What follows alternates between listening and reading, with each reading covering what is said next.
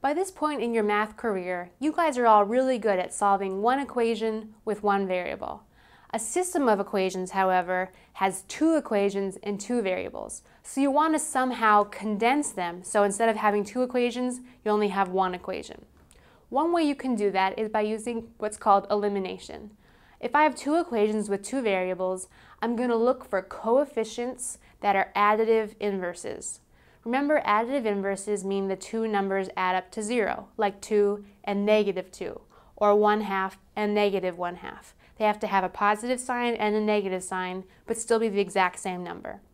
So if I have two coefficients that are additive inverses, I can add the equations vertically, and one of my variables will be eliminated.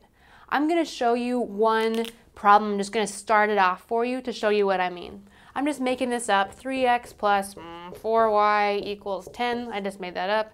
And uh, 2x mm, minus 4y equals 14. I don't know. Let's just say this was a system of equations and I was asked to solve using elimination.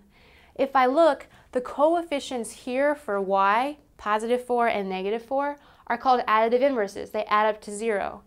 If I add these equations vertically, 5x, I'll have 0y, 5x equals 24. Now this is one equation with one variable that I can solve really easily and go through to find the solution to my system of equations. So you guys, when you're given a problem and asked to use elimination, you're wanting to look for additive inverses. Sometimes you have to do some clever multiplying. Let me show you what I mean. Let's just say that instead of positive 4 and negative 4, I had something else. Let's see, 3x plus 4y equals 10.